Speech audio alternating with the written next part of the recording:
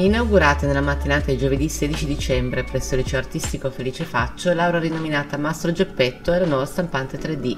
I ragazzi con disabilità che lo scorso anno scolastico durante la pandemia si erano trovati a essere gli unici studenti insieme ai loro insegnanti presenti a scuola, avevano riscontrato il grosso problema di non avere uno spazio adatto alla didattica a distanza.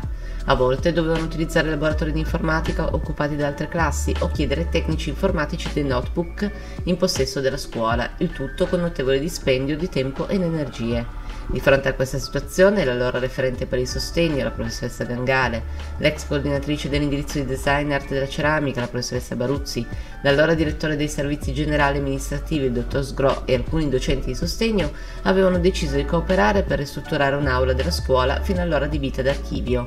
Alcuni docenti hanno effettuato nelle aule le riparazioni necessarie, riducendo così i tempi per il ripristino degli ambienti. Era necessario per acquistare i computer. La professoressa Baruzzi aveva messo a disposizione una parte delle donazioni dei Lions e dei Rotary, originariamente destinata all'acquisto della stampante 3D. Grazie a questi contributi oggi la scuola possiede un'aula rinominata Mastro Geppetto che si configura come un ambiente moderno e accogliente decorato con i lavori provenienti dagli indirizzi di studio che l'istituto offre e in cui i ragazzi diversamente abili possono svolgere comodamente la didattica a distanza ma anche altre attività laboratoriali specifiche.